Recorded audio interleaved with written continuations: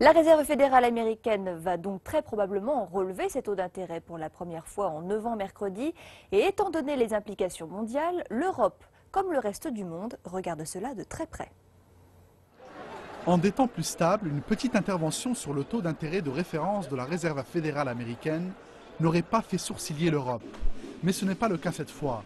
L'euro s'échange déjà à un plus bas de 10 ans contre le dollar. Toutefois, de nombreux analystes ne s'attendent pas à une autre baisse immédiate si la Fed relève son taux de référence.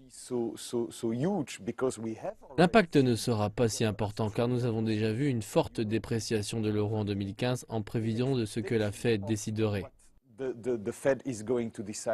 Ce qui compte réellement, ce seront les lignes directrices données par la présidente de la Fed, Janet Yellen.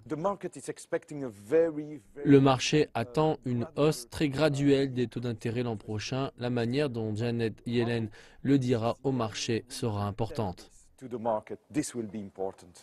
Si la Fed fait allusion à d'autres hausses de taux l'an prochain, l'euro chutera probablement davantage. La parité est probablement un scénario à envisager étant donné que personne n'est réellement intéressé pour garder l'euro fort, que ce soit au sein de la zone euro avec le fort intérêt de l'Allemagne pour les exportations et en même temps nous ne voyons aucun intérêt du côté de l'UE de garder un euro élevé.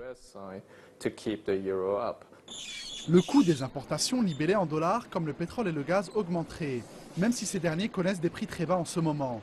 Un euro plus faible pourrait booster les exportations pour les pays comme l'Allemagne, mais personne n'est convaincu.